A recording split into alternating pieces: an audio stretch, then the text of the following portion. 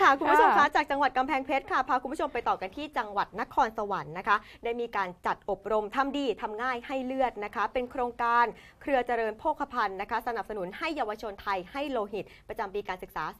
2566 ค่ะ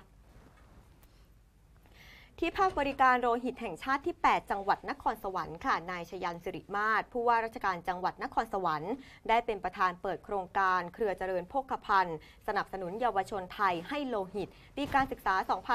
2566 เป็นการอบรมทำดีทำง่ายให้เลือด โดยมีทางด้านของบริษัท CP นะคะ แล้วก็มีการอบรมโครงการเกิดขึ้นในครั้งนี้ กิจกรรมการอบรมในวันนี้ค่ะค่ะ ก็ประกอบไปด้วยสถานีความรู้โลหิต แล้วก็ผลิตภัณฑ์โลหิต ส่วนประกอบของโลหิต ประโยชน์ของการบริจาคโลหิต ทั้งผู้ให้และก็ผู้รับนะคะ การเป็นนักประชาสัมพันธ์เชิญชวนผู้บริจาคโลหิต รวมไปถึงการฝึกปฏิบัติการช่วยชีวิตขั้นพื้นฐานหรือว่า CPR แล้วก็การใช้เครื่องช็อคไฟฟ้าหัวใจอัตโนมัติ หรือว่า AED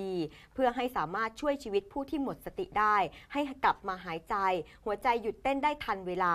การอบรมทำดีทำง่ายให้เลือด เครือเจริญโภคภัณฑ์สนับสนุนเยาวชนไทยให้โลหิต ประจำปีการศึกษา